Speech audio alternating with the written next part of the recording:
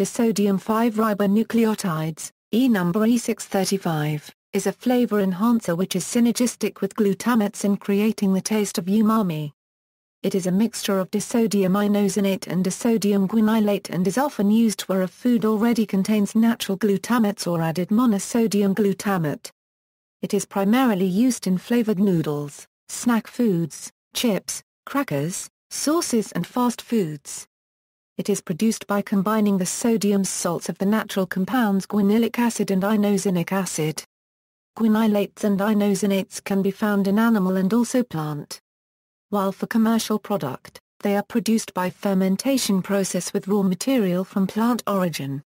A mixture of 98% monosodium glutamate and 2% E635 has four times the flavor-enhancing power of monosodium glutamate alone. Side effects and safety Disodium 5-ribonucleotides were first assessed in 1974 by the joint FAO-WHO Expert Committee on Food Additives based on all available scientific literature. This assessment resulted in a new specification prepared and an ADI not specified. This essentially means that this additive shows no toxicology at any level and acceptable daily limits do not need to be set.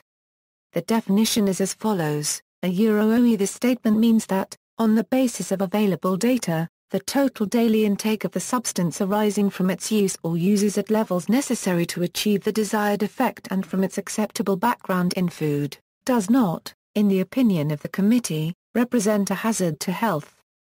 For this reason, and for reasons stated in the individual evaluations, the establishment of an acceptable daily intake expressed in mg per kg of body weight is not deemed necessary. A euro in 1993 the joint FAO-WHO Expert Committee on Food Additives considered several more studies on this food additive and retained the ADI not specified safety classification. Dietary restrictions Nowadays, Guanylates and inosinates are generally produced through fermentation process from plant raw material such as tapioca starch. They are thus suitable for vegans and vegetarians.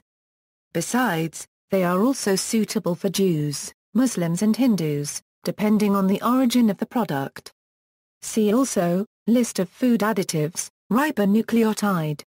References